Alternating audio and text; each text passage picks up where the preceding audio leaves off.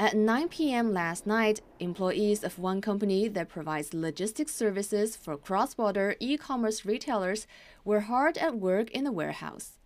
They've been handling 80,000 to 100,000 packages each day because of Black Friday, more than twice as much as they usually deal with. Uh, we pick up packages during the daytime and come back to the warehouse at night. There are people on duty 24 7. The packages were then sent to various ports.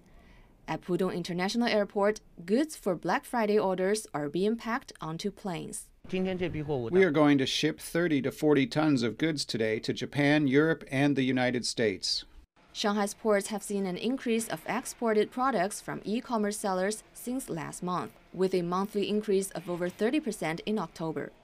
Shanghai Customs has been making efforts to enhance customs clearance efficiency. We've made the whole process paperless. It used to take one hour to wait for an approval before the goods were allowed to leave the border. And now the approval is granted in about one second. Some other e commerce sellers have set up warehouses overseas. Take Amazon, for example, popular products were shipped overseas in advance so that they can be delivered to overseas buyers in about a week.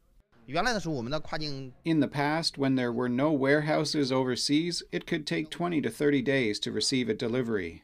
Chinese buyers are also taking advantage of Black Friday deals as more companies now specialize in transporting imported products for global e commerce retailers. Zhang Hong, Shanghai Live.